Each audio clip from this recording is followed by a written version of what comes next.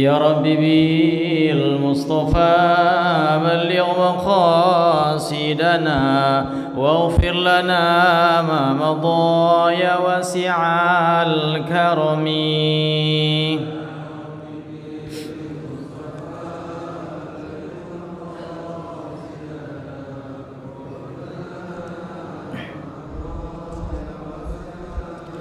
والحبيب الذي ترجى شفاعته لكل هاول من الأهوال مقتحم يا ربي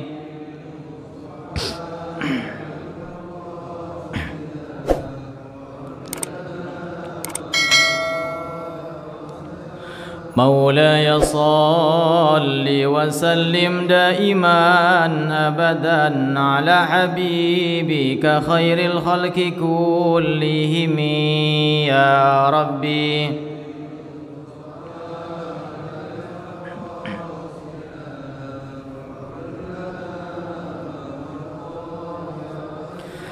على هذه النية وعلى هنكنية صالحة وإلى حضرة النبي المصطفى صلى الله عليه وسلم. خصوصا مؤلف كتاب المرام. الحافظ ابن حجر الأسقلاني شؤله لهم الفاتحة. أعوذ بالله من الشيطان الرجيم. بسم الله الرحمن الرحيم. الحمد لله رب العالمين. الرحمن الرحيم. مالك يوم الدين. إياك نعبد وإياك نستعين. اهدنا الصراط المستقيم. صراط الذين أنعمت عليهم غير المغضوب عليهم ولا الضالين. آمين. الحمد لله إن الحمد لله الواحد الأحد الفرد الصمد الذي لم يلد ولم يولد ولم يكن له كفوا أحد.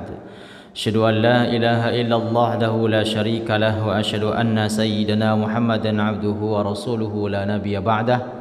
اللهم فصل وسلم وبارك على سيدنا وحبيبنا وشفيعنا ومولانا محمد وعلى آله وأصحابه ومن تبعهم بإحسان إلى يوم الدين. أما بعد فقد قال الله تعالى في كتابه الكريم وهو أصدق القائلين أعوذ بالله من الشيطان الرجيم. بسم الله الرحمن الرحيم لن تنالوا البر حتى تنفقوا مما تحبون قال أيضا إنا أعطيناك الكوثر فصل لربك وانحر قال النبي صلى الله عليه وسلم من كان له سعة ولم يضحي فلا يقربن مصلانا Hadratul Mukarramun Asatizat para ustaz para kiai wabil khusus Ketua DKM Masjid Jami Al-Fajar Akhirnya Ustaz Al-Haj Cacap Syaifuddin Madanallahu fituli hayatihi dan para sesepuh, bini sepuh, para pengurus semuanya yang saya muliakan. Hadirin hadirat jamaah salat subuh yang dirahmati Allah Subhanahu wa taala. Oleh karena hari ini kita sudah ada aura-aura kurbannya karena kurang dua minggu lagi kita merayakan Idul Adha maka ini kajian tahunan untuk memotivasi kita agar lebih semangat untuk berkurban. Maka materi kajian kali ini adalah tentang babul adhiyah khusus membahas tentang bab kurban. Utama yang kita akan kaji tentang makna kurban kemudian daripada fadilah keutamaan kurban Kemudian juga kita akan baca kembali sejarah kisah pertama kali diperintahkannya atau disyariatkannya berkurban. Baru yang terakhir adalah tata cara memilih hewan kurban, tata cara penyembelihan dan bagaimana tata cara pendistribusian daging kurban yang sebenarnya. Adapun nanti jika ada suatu hal yang belum saya sampaikan atau belum dimengerti silahkan dipertanyakan. Baik, yang pertama tentang babul adhiyah, kurban makna secara syariat atau juga bisa disebut dengan makna secara bahasa atau istilah ya kurban itu tentu menyembelih hewan ternak yang bertanduk tanduk dua aqranaini hewan ternak yang punya dua tanduk kambing sapi kerbau onta pada hari yang telah ditentukan tentu saat Idul Adha tanggal 10 Zulhijjah 11, 12 dan 13 jadi hewan ternak yang bertanduk. Dua. Kalau satu nggak boleh badak tapi motong bebek boleh nggak saat idul adha boleh nggak boleh motong entok saat idul adha boleh boleh. Siapa yang larang? Yang kagak boleh kurban pakai entok. Ini nyembelih entok ayam, apalagi ayam kampung, boleh saat Idul Adha.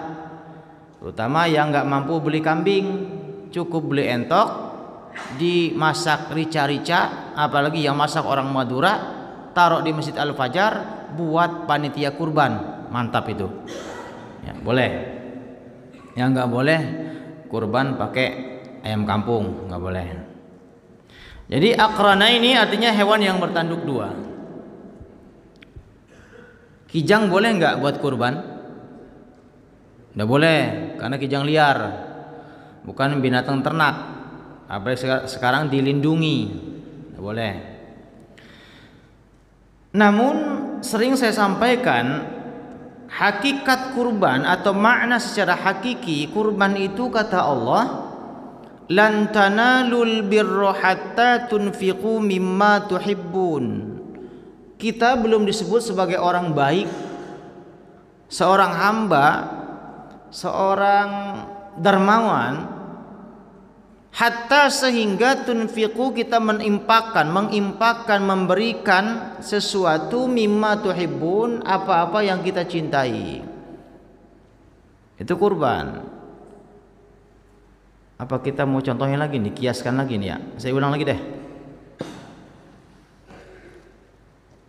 biar penjelasannya logis masuk akal karena hanya orang hebatlah yang berani berkurban. Orang mampu banyak, orang mapan banyak, orang kaya banyak, yang punya mobil banyak. Tapi enggak semua mereka yang punya mobil itu kurban. Hanya orang hebatlah yang berani berkurban. Karena memang kurban itu ibadah yang istimewa. Saya pernah kiaskan kalau nggak salah ya, tiap tahun juga dicontohin.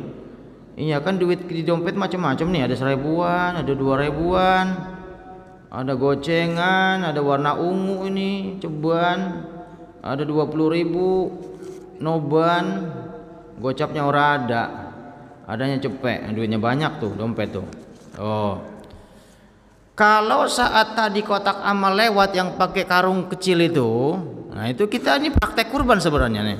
Kurban kecil-kecilan. Biasanya pada bawa duit nggak kalau subuh-subuh gini ya, ya oke okay lah kalau subuh mah kelupaan. Jumat. Jumat dah abong lupa mah Jumat. Jumat bawa duit segepok macam-macam ada di kantong. Kira-kira saat kotak amal lewat yang jadi korban yang mana Hah? Ini jujur Pak, jujur, jangan bohong Pak. Jujur lah coba sesekali, sesekali aja jujur sama saya dah. Saat di dompet kita agak ada berbagai macam warna dan nilai uang ini di kantong kita, nyus datang itu kotak amal.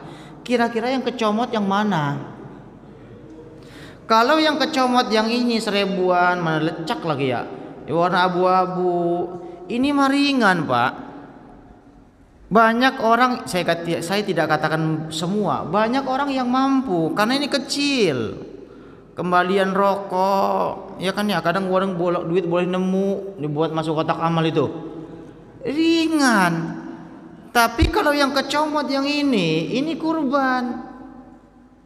Secara hakikat kita berani berkorban ngasih yang ini Makanya saya melihat tolak ukur banyak atau tidaknya orang yang kurban di satu masjid, cukup tanya ke DKM sama Merbot. Soal bongkar kotak amal banyak yang mana? Nah, kalau kotak amal ya banyak warna ini, minimal yang ini dah minimal yang gocapan atau berarti yang korban banyak itu di sini masjid. Tapi kalau di masjid itu pas dilihat kotak amal sama merebut banyak yang warna abu-abu beginian, saya pesimis ini kurban pasti sedikit nih. Karena jiwa kurban itu akan terlihat saat kita berkorban dari hal yang kecil. Sama dengan sholat. Sekalipun kita sholat enggak terlihat, tapi orang yang betul-betul sholat akan terlihat di akhlaknya, di wajahnya, di perangainya. Akan kelihatan orang yang mendirikan sholat. Jadi begitu. Besok siap-siap Pak Ustadz. Nah, banyak cepean besok kotak amal. Hmm, kurban katanya. Hmm, amin. Jadi hakikat kurban itu adalah memberikan yang terbaik, memberikan sesuatu yang berat untuk diberikan. Maka bersyukurlah kita, mudah-mudahan ya besok termasuk hamba yang terbaik yang berani berkorban. Itu secara makna. Yang kedua secara hukum.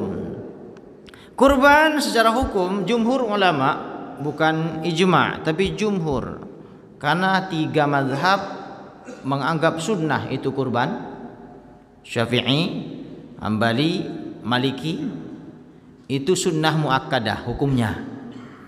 Tapi hanya satu mazhab yang mengatakan wajib, itu mazhab Imam Abu Hanifah atau mazhab Hanafi yang mengatakan kurban itu wajib. Dan Imam Hanafi mengatakan kurban itu wajib punya alasan. Punya dalil. Apa dalil beliau mewajibkan kurban? Jelas perintahnya di dalam Quran. Surah Al-Kautsar. A'udzu billahi minasyaitonir rajim. Inna a'tainakal kautsar. Fasalli li rabbika wanhar. Sungguh kami telah memberikan nikmat yang sebegitu banyak kepada kalian. Enggak terhingga. Minta umur panjang, sekarang masih hidup. Minta istri dulu udah nikah minta anak dikasih anak minta rezeki kasih rezeki minta kerjaan kasih kerjaan. Begitu banyak kami memberikan nikmat kepada kalian kata Allah. Maka Allah nuntut haknya. Ketika Allah sudah memberikan rizki yang banyak kepada kita nikmat yang banyak kepada kita Allah tuntut kita.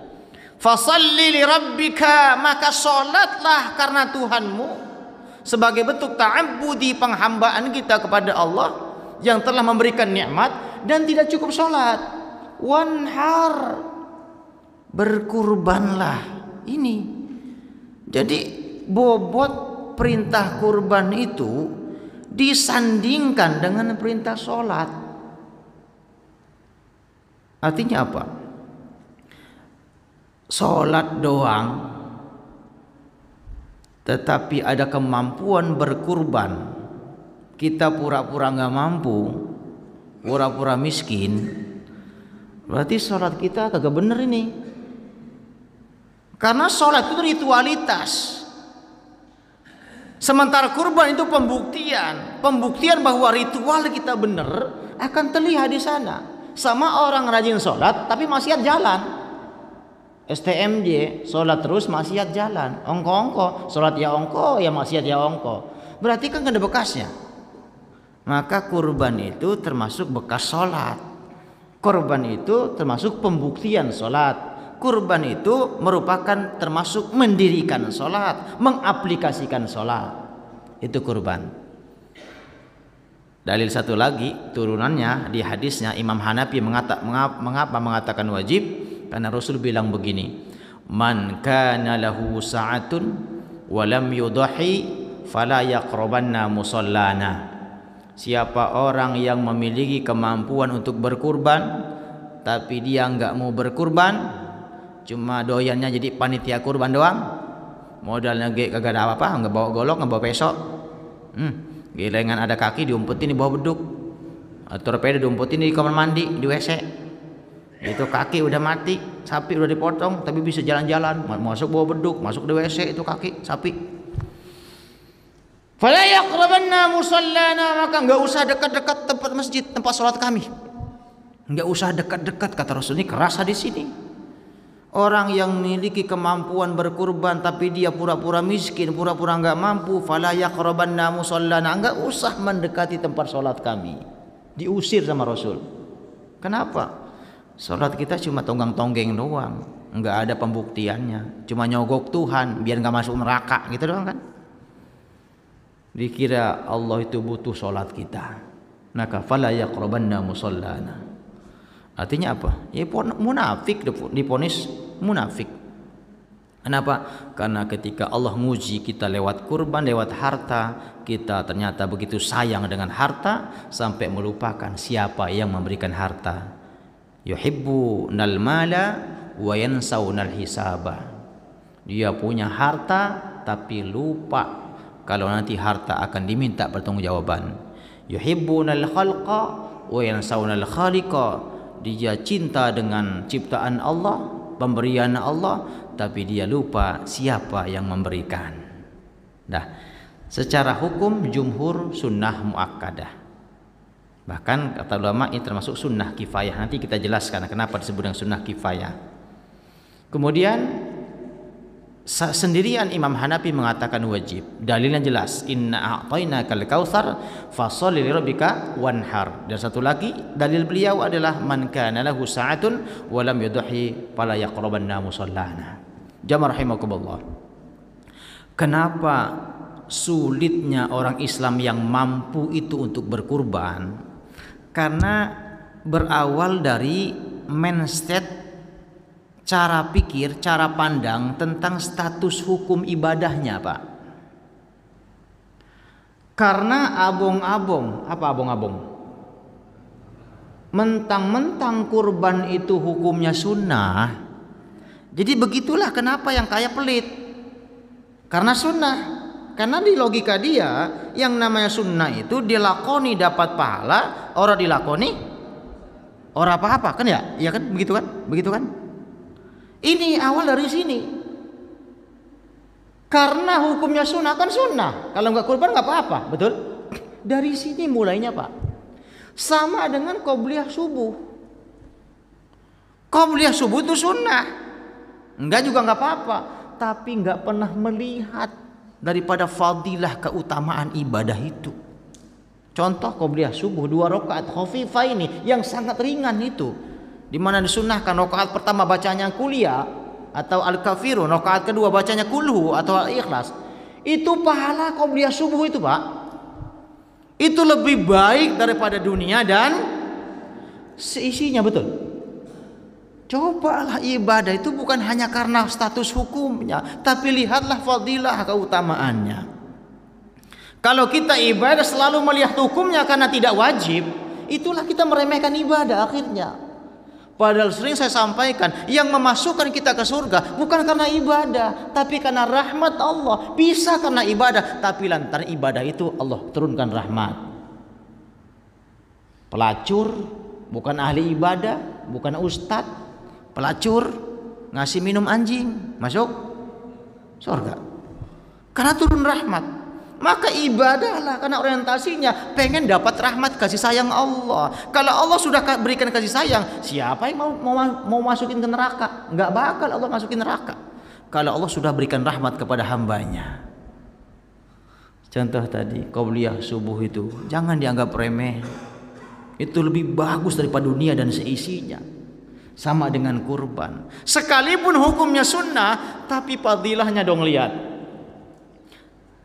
tidak satu helai pun satu helai pun apa namanya bulu kambing, bulu sapi, bulu ontak yang kita sembelih satu helai kecuali satu helai bulu yang kita kurbankan daripada hewan kurban itu merupakan satu kebaikan. Bulu, bulu, bulu kambing ada yang pernah ngitung belum? Cobalah sesekali ngitungin bulu kambing. Ya, punya punya bini pelit banget nggak mau kurban. Bapak pengen kurban tapi karena bendaharanya bini kita. Muntah kan besok mau ulangan pak anak-anak. Besok kan naik kelas besok kan masuk pesantren besok kan mau pindah sekolah. Banyak pertimbangan. Ajaklah bini bapak ke kandang kambing. Suruh ngitungin bulu kambing. Ngapain pak? Kandang kambing. Ngapain ngitungin bulu kambing. Kata bini kita laki gua habis ngaji Musa Zidan jadi PA begini katanya. Tawa ibu-ibu. Kadang punya bini yang pengen kurban lakinya lah yang gak mau. Alasnya itulah inilah itulah inilah.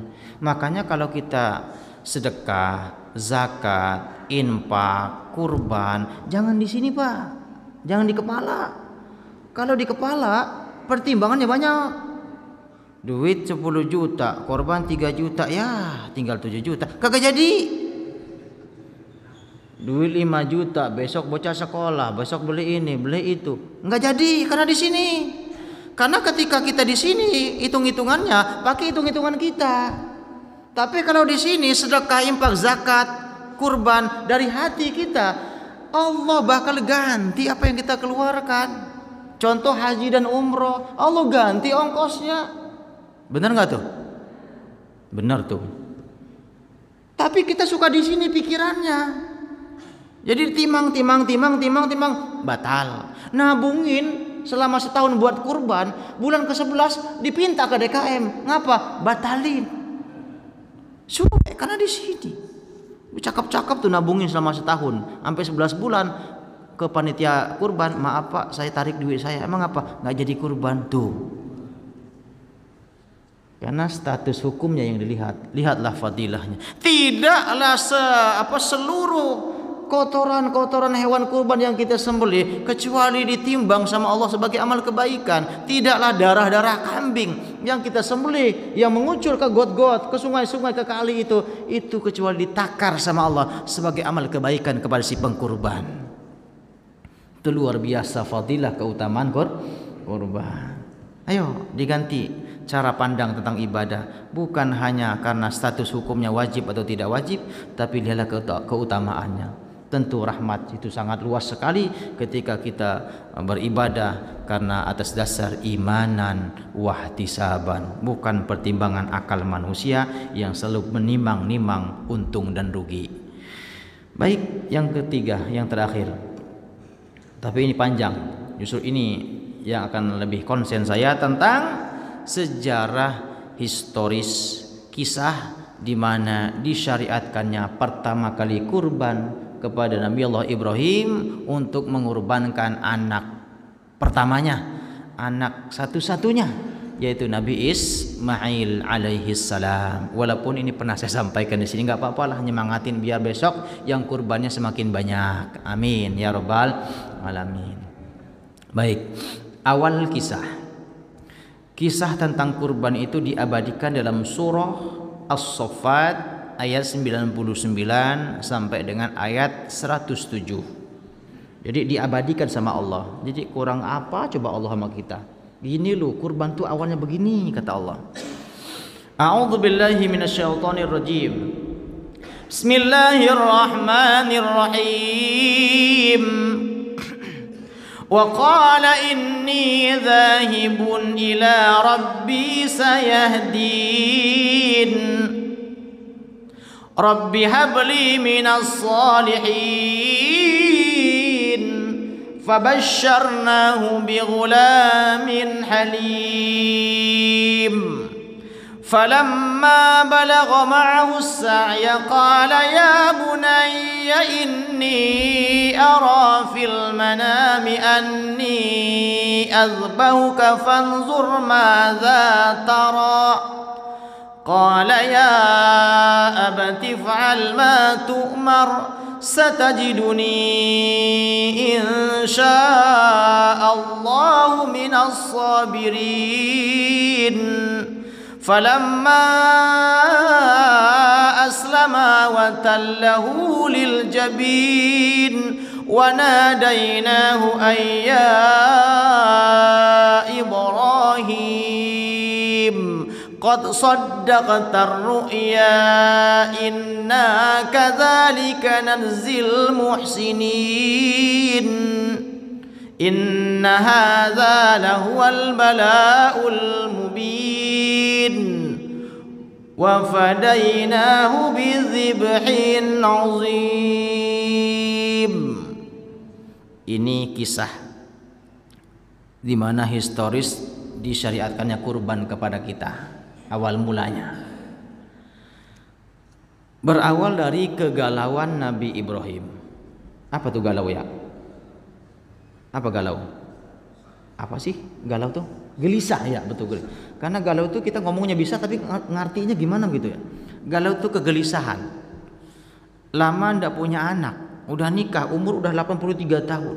Wa qala inni dzahibun ila rabbi sayahdin. Dalam masa kegalauannya dia OTW ke Allah mendekatkan diri kepada Allah merapat kepada Allah mengadu kepada Allah bermunajat kepada Allah. Apa permintaannya? Apa kegalauannya Rabbi habli minas salihin. Ya Rabb anugerahkanlah kepadaku daripada anak yang saleh. Jadi pengen punya anak. Umur udah 83 tahun. Belum dikasih anak. Fabasyarnahu bighulamin halim. Maka kami berikan kabar baik Kabar gembira kepada Ibrahim Dengan seorang anak yang penyantun Terkabul, terijabah doanya Nabi Allah Ibrahim alaihi salam. Jadi doanya itu Rabbi habli minas solihin Tetapi ikhtiarnya Jadi tidak cukup dengan doa. Beliau juga ikhtiar walaupun ikhtiarnya Allah ketuk hatinya istrinya yaitu Siti Sarah agar suaminya kawin lagi jadi yang minta nikah lagi itu bukan kemauan Nabi Ibrahim tentu Allah yang hendaki yang ngetuk hati yang Sarah wasilahnya tirakatnya ikhtiarnya suamimu kudu kawin lagi maka Sayyidati Sarah lah yang nyuruh Nabi Ibrahim nikah lagi Istri pertama nyuruh kawin lagi. Istri pertama nyuruh suami kawin lagi. Istri yang tuaan nyuruh lakinya kawin lagi. Ibu, jelas? Ini sejarah bukan ngada-ngada. Siti Sarah, ayo bang, cobalah tambah biang. Maksudnya ya poligami. Kali ge kalau punya bini kedua mah bisa punya anak. Begitu ini bahasa Tambun ini bahasa Tambun. Nah jangan sama masa Nabi Ibrahim ngomong begitu Siti Sarah? Enggak ini mah biar lucu aja. Kemudian Nabi Ibrahim awalnya nggak mau karena kesetiaan beliau kepada Sarah. Karena satu perempuan cantik salah satu perempuan yang nyambut ketika Nabi dilahirkan perempuan cantik Siti Sarah. Ada empat masih kan itu ada Siti Hawa Siti Sarah, Asya binti Muzahim, satu lagi Sayyidati Maryam, perempuan paling cantik nanti di surga itu. Kalah bidadari mah.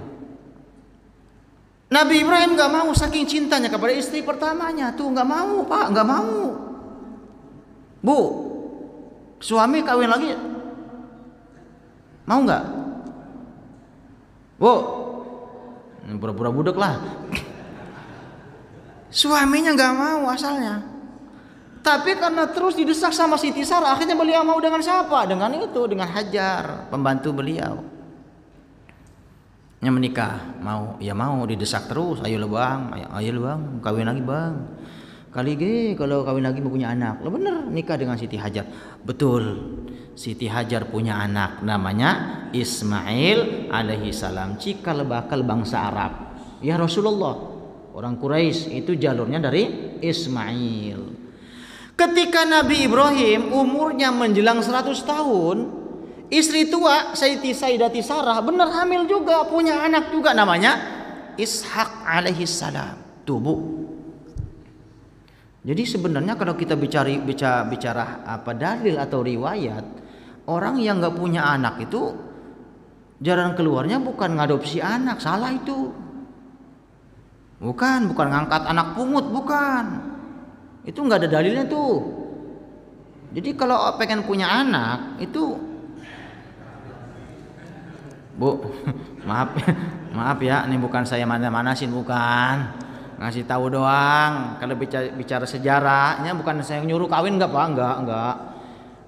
Kalau pengen punya anak, dalil yang sahih itu biangnya tambahin.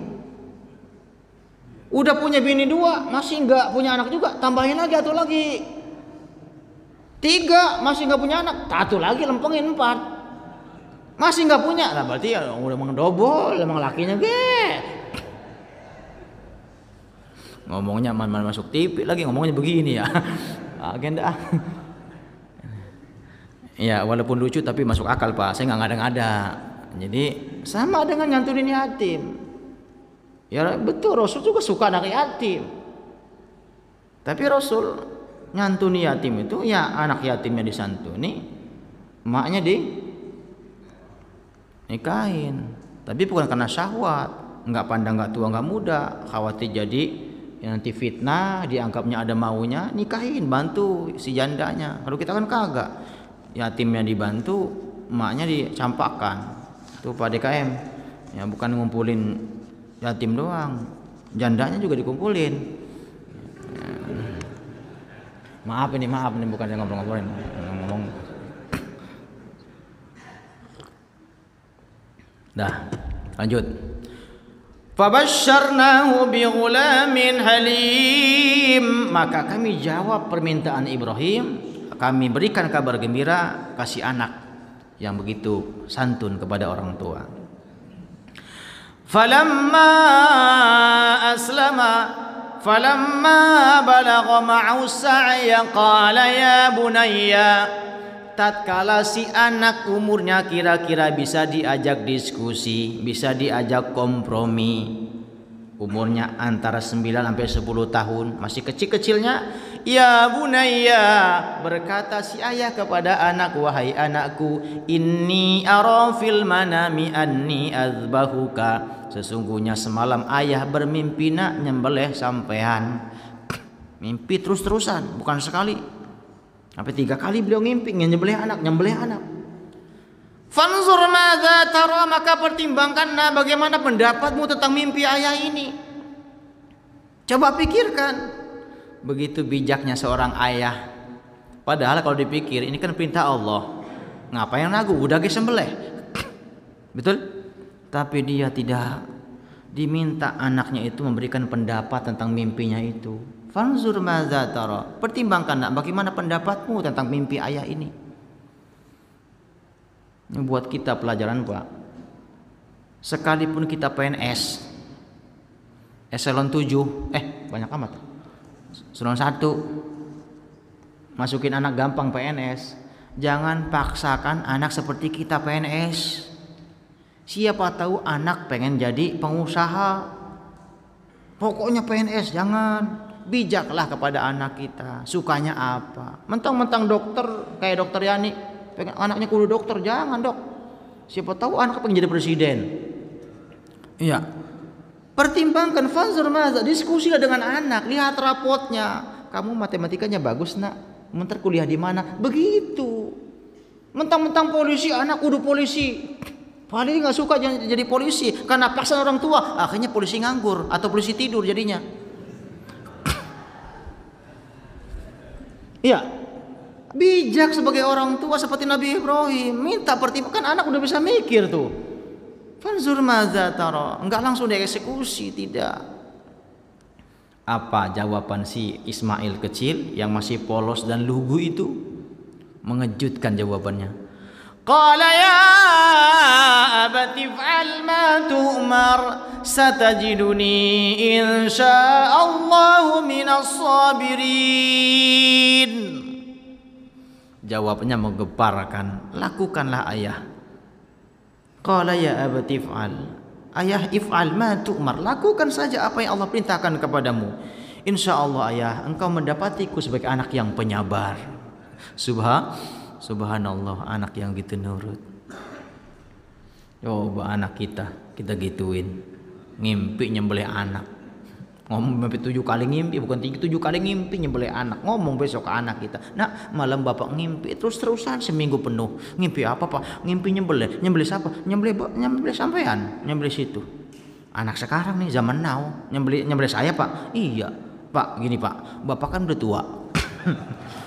udah menikah, udah bekerja, rumah tangga, punya anak. Saya kan masih belum. Gimana Pak kalau kita tukeran? Saya nyembelih, bapak yang saya sembelih. Mungkin begitu anak kita. Iya. Nah, anak zaman sekarang. Ini apa anak, zaman dulu nih, kalau minta duit kan nggak langsung minta duit kan? Macul dulu, yang perempuan cuci piring dulu, ngerayu orang tuh anak sekarang. Mak bagi mak, mak, mak bagi duit. Ngomong udah sekarang. Ya.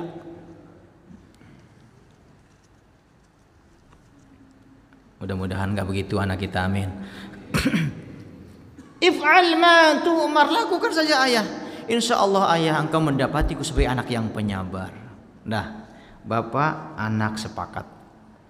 Falamma aslama wa tallahu lil jabin tatkala sang ayah dan anak sama-sama telah reda, rela, redo, ikhlas, sepakat untuk melakukan prosesi yang sangat sadis ini, watallahu lil jabin dan dahi telah ditempelkan ke tanah untuk disembelih. Di mana tempat penyembelihannya? Di Bukit Kurban, di atas stasiun Mina. Stasiun kereta itu di atasnya ada bukit nggak tinggi nggak. Itu ada monumen warna putih. Nah yang haji yang umroh tahu itu. Di Mina di Mina itu. Itu ada monumen kurban di sana. Tempat penyembelihan Ismail di sana. Di, diabadikan makanya yang belum umroh ya umroh tuh berangkat berangkat saya insya Allah tanggal 3 Agustus berangkat tanggal 27 Desember berangkat lagi nah, bawa jamaah daftar sama saya eh iklan Bentar nggak apa-apa di YouTube aja di iklannya, so ngaji nggak boleh. Dah di sana. Watallahu lil jabin dahitlah ditempelkan ke tanah untuk disembelih. Riwayatnya begini. Kisahnya. Ketika Nabi Ibrahim sudah bawa anaknya ke bukit kurban itu, datang iblis kepada Hajar. Hajar, anakmu dibawa suamimu ke bukit mau disembelih Anakmu, anak pertama lagi. Kamu yakin itu perintah Tuhan? Kamu yakin itu perintah Allah? Emang masuk akal juga sih. Kata iblis, kalau nyembah, namanya sholat, nyembah Allah masuk akal, masih logis. Zakat masih masuk akal perintah Allah, puasa juga masih masuk masuk akal. Ini kok perintah Tuhan nyembelih anak? Itu godaan iblis kepada Hajar. Ya benar juga. Iblis satu pinter. Mana mungkin Allah perintahkan hambanya nyembelih anak. Tapi apa kata Hajar?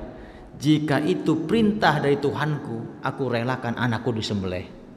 Maka simbol apa namanya perlawanan terhadap godaan iblis dilontarkanlah batu kerikil. Lontar jum jumroh simbol perlawanan kepada iblis yang selalu ngikutin kita menggoda kita agar kita gagal dalam berbuat baik sama kita mau kurban 10 bulan nabungin iblis udah ntar buat masuk sekolah bocah. Ntar aja tahun depan aja. Iblis begitu tuh. Sayang kurban. Entah ke kebagian daging ngapain kurban? Kebagian juga kok. Setan itu setan itu. Yang penting kan makan daging kurban. Udah nggak usah kurban. Udah banyak di Alpajar udah banyak. Berapa ekor Oke, Ustaz. 20 wah banyak ya? 20 kali 7 ya banyak banyak yang kurban mudah-mudahan jadi 30 tahun ini. Lantaran ngaji di pagi hari ini. Nah lanjut. Wanadainahu ayya Ibrahim. Telah sepakat ketika hendak disembelih. Dalam kisahnya iris-irisan pertama gesekan pertama golok digesekan ke lehernya Ismail itu belum melukai lehernya Ismail. Tidak melukai sehingga Ismail bilang apa ayah coba tekankan lagi golokmu ke leherku nantangin dikira bapaknya nggak tega jangan-jangan goloknya diputar begitu ya Coba ayah tekankan lagi pisaumu ke leherku agar cepat kelar perintah Allah ini. Selesailah perintah Allah ini. Anaknya Nabi Ibrahim. Anaknya Nabi. Coba anak kita. Umpama. Bener nih kita nyembelih anak perintah Allah. Umpama ini umpama. Gesek kagak mempan. Ngacir dia. Oh, eh, nggak mempan. Yes, yes nggak mempan. Anak kita. Anak nabinya nggak begitu. Tekankan lagi ayah. Ada pertanyaan, Pak Ustadz, kenapa nggak mempan? Nah, Apakah Nabi Ismail itu belum belum nabi ya? Apakah Ismail itu lama di Banten sehingga dia kebal pisau?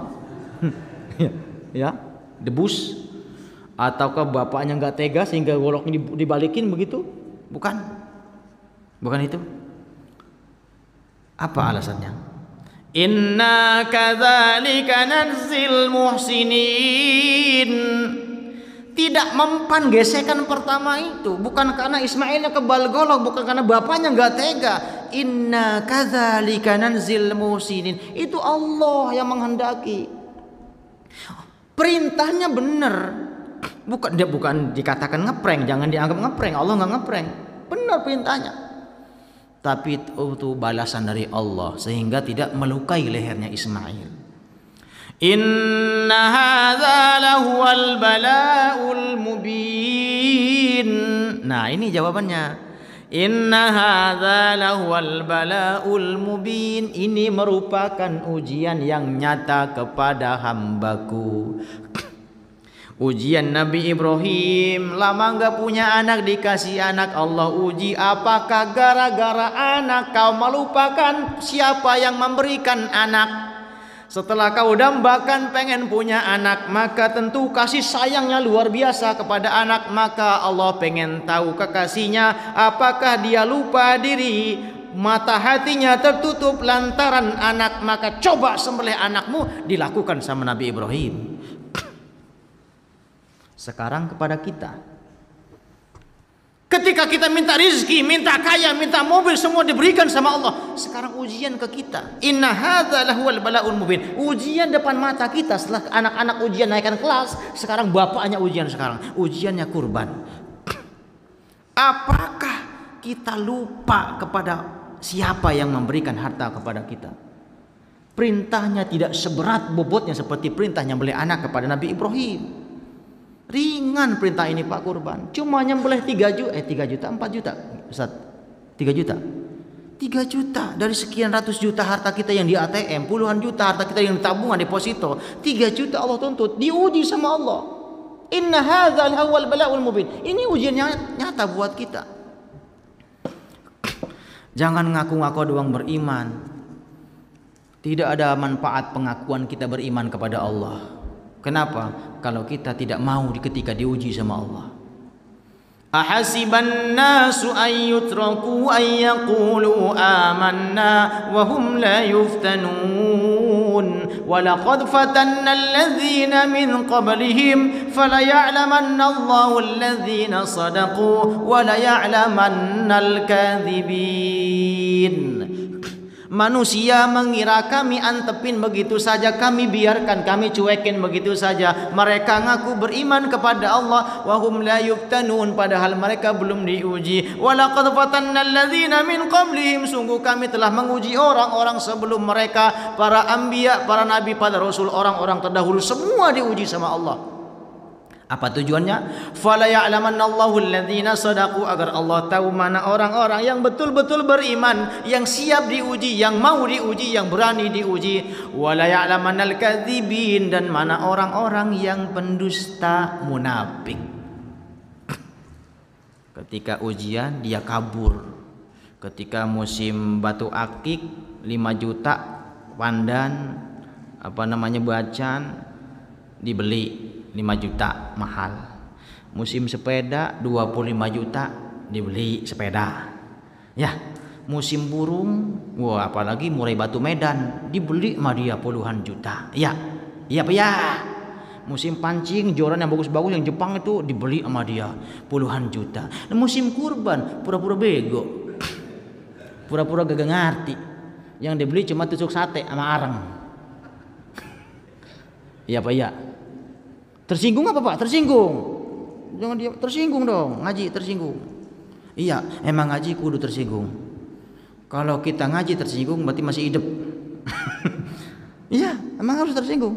Ya saya senang kalau ngaji jamaahnya tersinggung, senang saya. Berarti masuk tuh ilmu. Tapi kalau menang baik, antang baik, ada pertanyaan? Enggak, paham? Paham ya, curiga saya. Jangan-jangan pengen ngarapin tema nih ngajinya. Iya. Ujian depan kita saat ini kurang dua minggu yaitu ujian kurban. Jangan dulu kurban dagingnya dipikirkan untuk manusia, jangan dulu. Kalau kita kurban yang ngenakin orang yang makan daging, nggak jadi kurban. Sekalipun kurban itu dua ibadah sekaligus, Pak. Hablum minallah, ta'abud kita kepada Allah, juga ibadah sosial hablum minan nas. Hablum minallahnya ketika kita ngambil dompet duit kita. Saya takut ditanya duluan, Pak Ustadz emang kurban? Alhamdulillah, tanya sama DKM saya, pasti ada nama saya situ. Jadi saya bukan ngomong doang nih. Kurban insya Allah saya, walaupun nggak sekaya bapak, kurban. Maaf iklan iklan. Takutnya dituntut, emang Ustadz kurban? Ya tanya sama DKM. Hmm, sama. Ya udah habis waktunya. Terusin ya. Ya semangat kurbannya. Sampai mana tadi? Hah?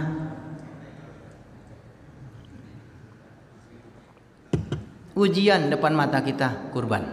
Jangan lari daripada ujian. Tiga tua nggak mampu.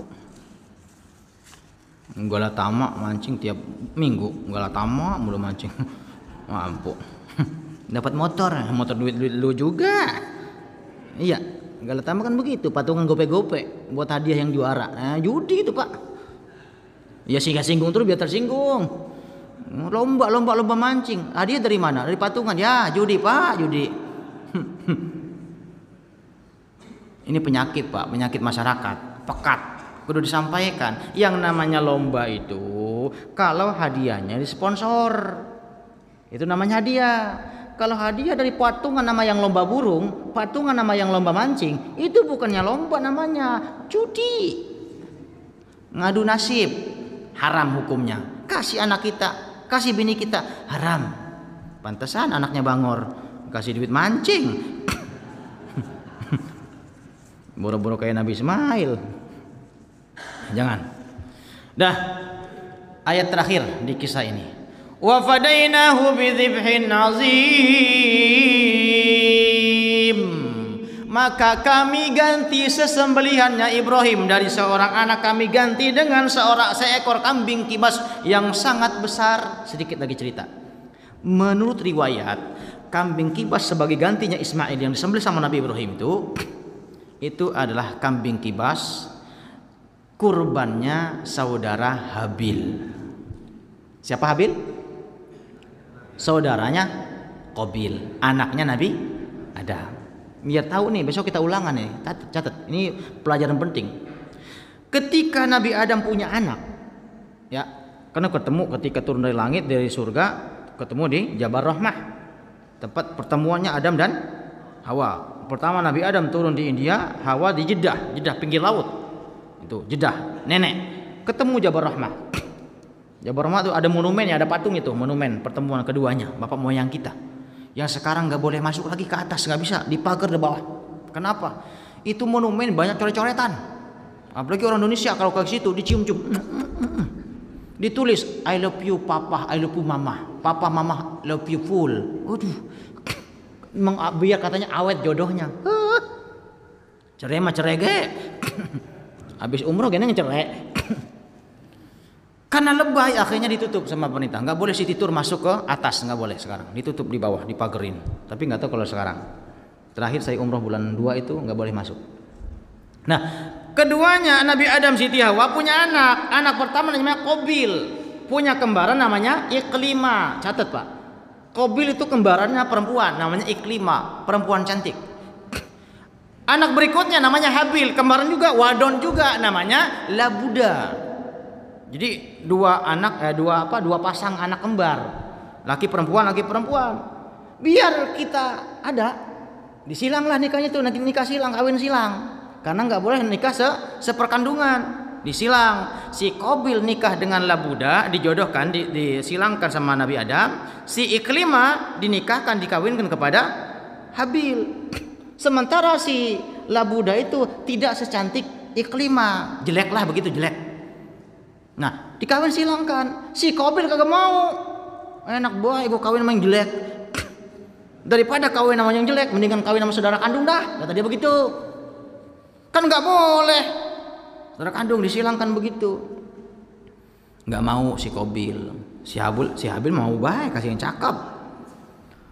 Akhirnya kata Nabi Adam, atas perintah Allah, ya udah gini aja deh. Kalian berdua kurban dua-duanya. Ya. Kamu Kobil seorang petani kurban dengan uh, berasmu, dengan gabahmu, dengan gandummu, hasil tanimu. Kamu Habil, kamu seorang peternak, kurbanlah dengan hewan ternakmu, dengan dombamu, dengan kibasmu. Dua-duanya kurban.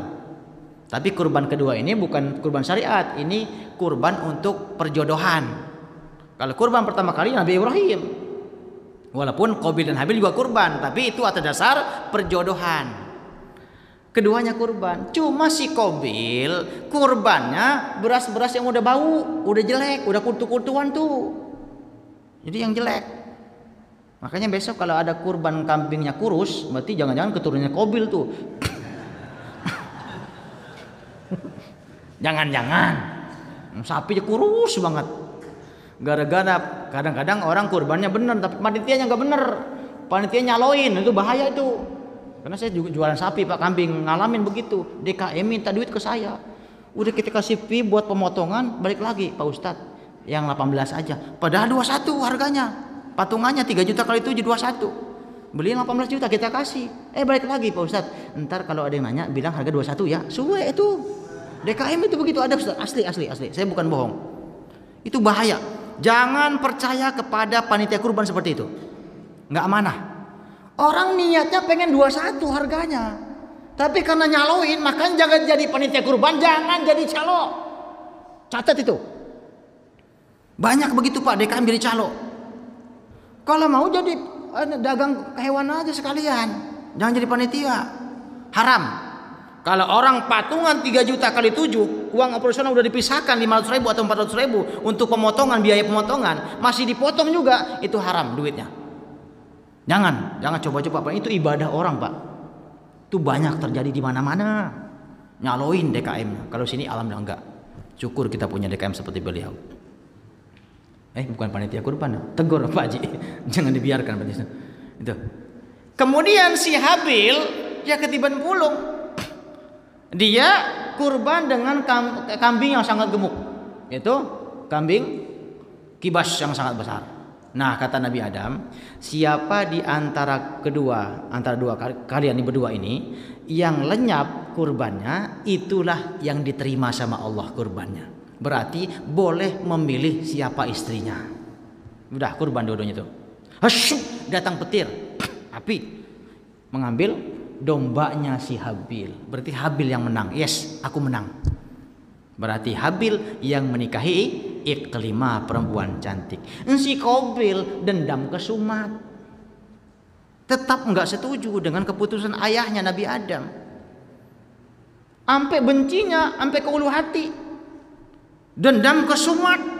Maka diabadikan sama Rasul. Iyakum wal hasad fa inna adama qatala ahaduma sahibahu hasadan hati-hatilah kamu terhadap penyakit hasad dengki benci gondok sama orang karena anak Adam, Qabil dan Habil saling membunuh antara satu dengan yang lainnya, membunuh antara membunuh antara keduanya karena penyakit hasad kedengkian. Kalau udah ada dengki di hati kita, jangankan orang lain, saudara kandung dibunuh, Pak. Jangan bapak oh, bapaknya orang lain, bapak kandung dibunuh. Terjadi di tipi-tipi karena hasad kedengkian. Maka Allah Rasul abadikan hati-hati dengan dengki. Pilpres udah lima tahun yang lalu. Menterinya udah apa calonnya udah jadi menteri. Lah pengikutnya masih gondok sampai sekarang. Masih kampret-kampretan, masih cebong-cebongan. Iya, iya apa ya? Tersinggung apa? Tersinggung. Dengki kesumat. Hati-hati penyakit dengki. Akhirnya dibunuhlah tuh si Habil sama si Kobil. Lagi tidur ditimpa pakai batu, mati. Bingung gimana cara apa ngurusin orang mati. Dibopong mayat saudaranya selama satu tahun ke mana-mana. Digendong ke mana-mana. Bingung mau diapain. Apa dikanyutin, apa dipretelin, dimutilasi. Ternyata Allah utus dua ekor gagak berantem di hadapan Qabil. Mati satu, yang hidup nggali tanah dikuburkanlah gagak yang mati. Oh mangkonon ceritane. Kata si Kobil, ternyata kalau ada yang mati dikubur ke tanah. Itulah pembunuhan pertama kali. Itulah bagaimana cara uh, mengurusi orang yang mati pertama di, di muka bumi. Itu cara dengan cara dikuburkan, bukan dibakar, bukan dikanyutin.